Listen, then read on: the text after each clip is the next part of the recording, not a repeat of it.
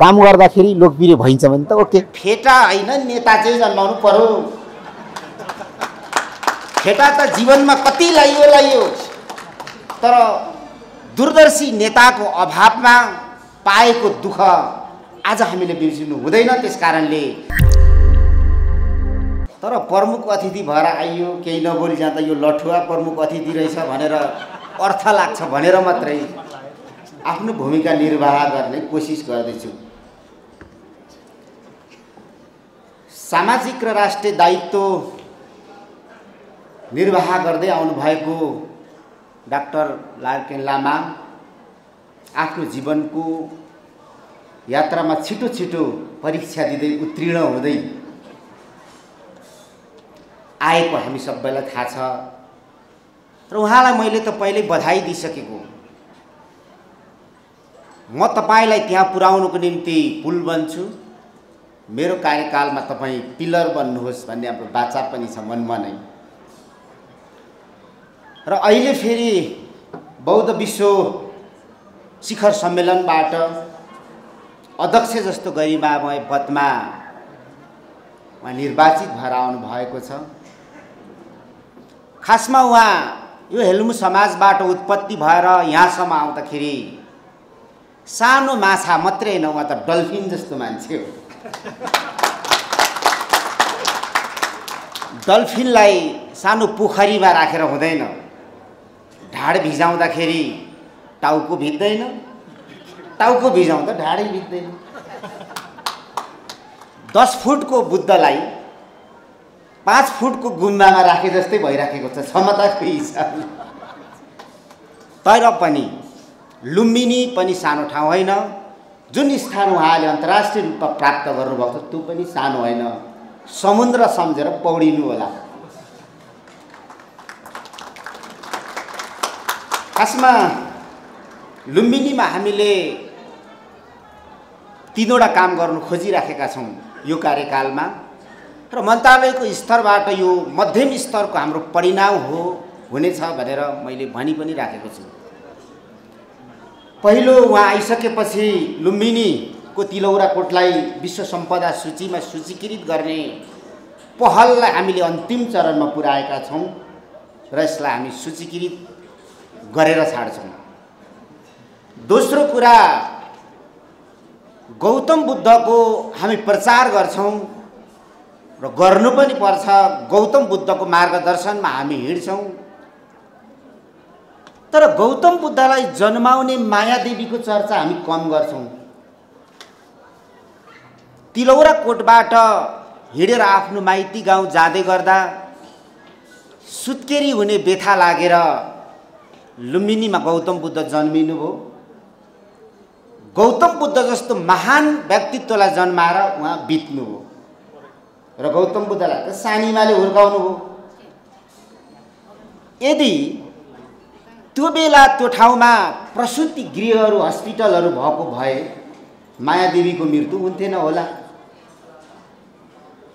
र ती महान आमा मायादेवी र गौतम बुद्धको सम्झनामा गौतम बुद्ध जस्तै सन्तान जन्माउने मायादेवीको सम्झनामा मायादेवी प्रसुति गृह हामीले बनाउनु पर्छ भनेर हाम्रो सल्लाह छ। त्यसको पहल हामीले तुरुन्तै थाल्नु पर्नेछ। र हामीले यता रामग्राममा चाहिँ मक्का मदिना जस्तै एउटा विशाल त्यो क्षेत्रको अनुहारै परिवर्तन हुने गरी हामीले आयोजना प्रारम्भ गर्नुपर्छ भनेर हामी लागेका छौँ। यति काम हामीले गऱ्यौँ भने सायद हाम उपाध्यक्षको नेतृत्वमा सञ्चालन भएको लुम्बिनी त्यो कार्यकालको इतिहासमा नाम अङ्कित हुन्छ भन्ने मलाई लाग्दछ। अब हेल्मो समाजलाई धेरै धेरै बधाई उहाँलाई त बधाई छ छ। हेल्मो समाजलाई पनि बधाई छ। बौद्ध मार्गीहरूको पवित्र तीर्थस्थल क्षेत्र सिन्धुपाल्चोकको हेलम्बु जस्तो तपभूमिका सौभाग्यशाली बासिन्दाहरू तपाईँहरू। तपाईँहरू कम सौभाग्यशाली होइन। यस्तो गाउँमा हामी जन्मिनु पाइएन। मैले भनिराख्नु पर्दैन बौद्ध धर्मावलम्बीहरूका लागि हेलेम्बु अत्यन्तै महत्त्वपूर्ण स्थल हो। अरू ठाउँमा गएर तिन वर्षमा प्राप्त गर्ने ज्ञान यहाँ तिनै महिनामा हुन्छ भनेको मैले सुनेको थिएँ। र अर्को कुरा महत्त्वपूर्ण कुरा बौद्ध धर्ममा एसिया महादेशमै दुईवटा स्थल मात्रै अति पवित्र भूमि छ। त्यो भनेको हेल्मो हेलम्बु र डेङ्जोङ सिक्किममा डेङ्जोङ भन्छ होला डेङ्जोङ।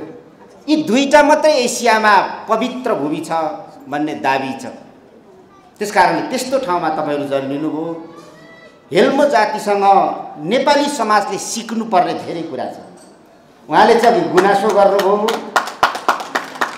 समाजवादी संस्कृति हामीले हेल्मु समाजबाट सिक्नुपर्छ। सत्तुर नै भए पनि आपद विपदमा सहयोग गर्नुपर्छ भन्ने तपाईँहरूको मान्यता छ। यो समाजवादी संस्कृति हो। र अर्को चाहिँ तपाईँहरूको पाहुनालाई सत्कार गर्नु मूल कर्तव्य तपाईँहरू ठान्नुहुन्छ पर्यटनमा त पाहुनालाई सत्कार गर्नु सक्नुपर्छ यो सानो संस्कृति होइन। त्यस कारणले तपाईँहरूबाट हामी नेपालले नेपालीले धेरै कुरा सिक्नु छ। ज्ञान उपदेश बाँड्ने क्रममा बुद्धले भन्नुभएको थियो मेरो तमाम उपदेशहरू ढुङ्गा जस्तै छ ढुङ्गा जस्तै हो।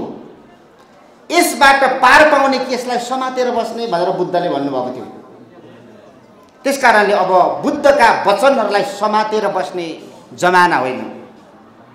बुद्धको ती ज्ञानलाई त ती बुद्धको वचनहरूलाई त हामीले डुङ्गा जस्तै खियाएर समृद्ध नेपाललाई पार तर्नु छ हामीले पार तर तार्नु छ यो देशलाई।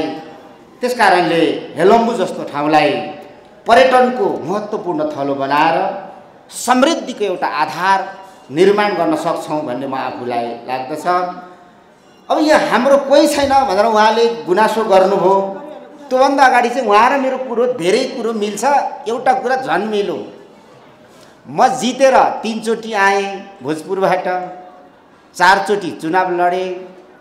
मलाई पनि हेल्मु समाज जस्तै हाम्रो किराँतीहरूको यायोखा भन्ने समाज छ। उहाँहरूले धेरै धेरै माला र फेटा लगाइदिनु भयो फेटा। फेटा हाम्रो मुन्दुमी संस्कृतिमा शिर उठाउनु भन्छ फेटा लगाइदिनु भयो मैले त्यतिखेर भनेको थिएँ उहाँले आज भने जस्तै सम्मान गर्ने होइन एकता हुनु पऱ्यो भनेर उहाँले भन्नुभयो। मैले चाहिँ त्यतिखेर के भनेको थिएँ भने फेटा होइन नेता चाहिँ जन्माउनु पऱ्यो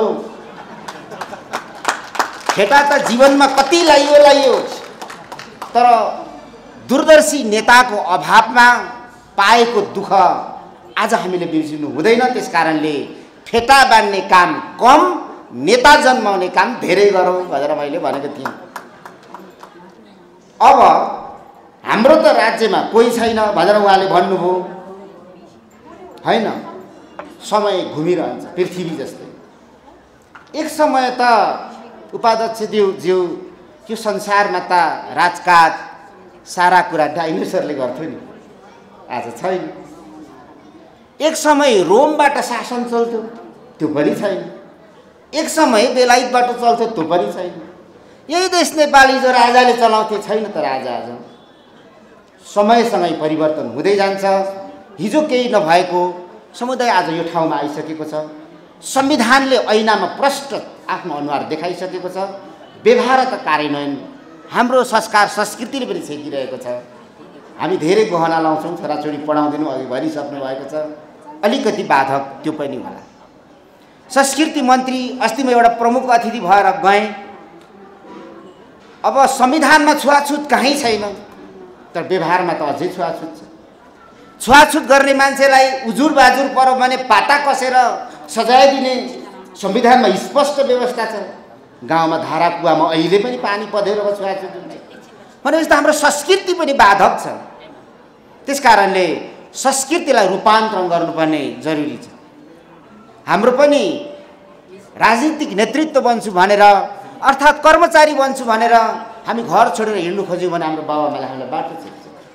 हामीलाई त रोएर बाटो छेकेर माला लगाइदिएर दही खुवाएर लाहुरे पो पठाउँछ। त्यो हाम्रो संस्कृति बाधक छ त्यस कारणले अब हामीले हाम्रो संस्कृतिमा पनि केही रूपान्तरणहरू ल्याउनुपर्छ भन्ने मलाई लाग्दछ। कोही छैन होइन तपाईँहरूसँग धेरै छ यो पनि भनौँ। होला सचिव छैन होला आर्मीमा जर्नेलहरू छैन होला प्रधानमन्त्री छैन होला मन्त्री त भएकै हो तपाईँ पनि त मन्त्री त भएकै त हो। तर संसारका मान्छेहरूलाई हिमाल चढाउने त तपाईँहरू हो नि। नेपालभन्दा पहिला शेर्पा चिनिने त शेर्पा चिनिएको त संसारमा हो नि। नेपाललाई शेर्पाले चिनाएको छ। मैले सधैँ भन्छु सेतो हिमालमा तपाईँहरूको पुर्खाको रातो इतिहास छ। चिसो हिमालमा तातो कथाहरू छ। यो त तपाईँहरूले गरेको हो नि। विश्वमा अहिले पनि तपाईँहरू घुम्दाखेरि कतिपय ठाउँमा नेपाल चिनिँदैन। तर सगरमाथा चढाउने शेर्पाहरू चिनिन्छ। तपाईँहरू सानो मान्छे हो। त्यस कारण तपाईँहरूसँग त नेपालको परिचय पनि घाँसिएको छ। त्यसमा हीनता बोध हुनु हुँदैन भन्ने कुरा पनि म यहाँलाई राख्न चाहन्छु र अन्तमा अब हामीले यति ठुलो सङ्घर्ष गर्दै सत्तरी छत्तर वर्ष त हामी प्रजातन्त्रको निम्ति लड्यौँ। आज संविधानमा सबैको अनुहार देखिने संविधान पनि बनायौँ। अब हामीलाई संविधानले मात्रै पुग्दैन। समृद्धि चाहिन्छ। हामी समृद्धिको बाटोमा बुद्धले भने जस्तै मध्यमार्गी भएरै हिँड्नुपर्छ होला। अब धेरै दाहिने बायाँ नगरौँ। धेरै दाहिने बायाँ गर्दाखेरि दुःख पाइयो। हाम्रो लक्ष्य समृद्धि बनाऊ दाहिने बायाँ नगरौँ एकदम मध्यमार्गी भएर सिधा हिँड्यौँ भने समृद्धिको गन्तव्यमा अवश्य पुग्नेछौँ भन्ने म यो चाहिँ पवित्र भूमिबाट अनुरोध पनि गर्न चाहन्छु। बुद्धको दर्शनलाई आत्मसात गरौँ भन्ने अपिल पनि गर्न चाहन्छु र फेरि पनि धेरै धेरै हाम्रो डाक्टर लार्के लामालाई बधाई कार्यकालको शुभकामना र तपाईँहरूले जसरी यति ठुलो कार्यक्रमको आयोजना गरेर यति ठुलो बधाई र सम्मान दिनुभयो तपाईँहरूको संस्था र तपाईँहरूप्रति हार्दिक अभिनन्दन व्यक्त गर्दै भनाइ अन्त गर्छु। धन्यवाद। गमनको क्रम कस्तो छ। र यहाँहरूले जुन अहिले अस्ति भर्खर एयरपोर्टमा गर्नुभयो नि त्यो क्रमलाई निरन्तरता अँ, छ छ।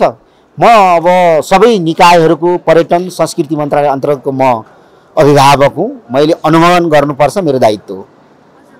यो एउटा पब्लिसिटी कमाउनको लागि गरिएको त होइन नि। जस्तै अहिले त अब सामसुमै भइसक्यो। त्यहाँ जति पनि समस्या छन् आइरहिरहेका छन् केही नि चेन्ज छैन। अस्ति अब त्यो मूल्यको कुरा पनि जस्तै अस्ति हजुरले मूल्य सूचीको कुरा चाहिँ मूल्य वृद्धि गरेर हालिराखेको जुन ट्याग लगाइन्छ अहिले फेरि त्यही क्रममा चलिसकेको छ होइन त्यो एउटा समिति नै बनेको छ। समितिको प्रतिवेदनको आधारमा त्यो कार्यान्वयन हुन्छ। अहिले चाहिँ एमआरपी मूल्यभन्दा माथि बिक्री गर्नु नदिनु भनिएको छ निर्देशन गरेको छ दिएको छैन। एमआरपी चाहिँ तपाईँहरूले पनि हेरिदिनु होला। त्यस्तो भएको खण्डमा चाहिँ आम सर्वसाधारणले कसरी कम्प्लेन गर्न सक्छन् त नि? अस्ति हामी पनि गएर भिजिट गऱ्यौँ तर त्यहाँ जुन हजुर जाँदाखेरि अनुगमन हुँदाखेरि जुन मूल्य सूची निर्धारण गरिएको थियो तर त्यसमा थप बढाएरै बेचिएको पाइएको समय पारदर्शी छ सामाजिक सञ्जालमा पनि राखिदिनु सक्नुहुन्छ सिधै हाम्रो फोनमा पनि सम्पर्क गर्नुहुन्छ। लोकप्रियताको लागि हो कि यो भनेर तपाईँले भन्नुभयो। काम गर्दाखेरि लोकप्रिय भइन्छ भने त ओके।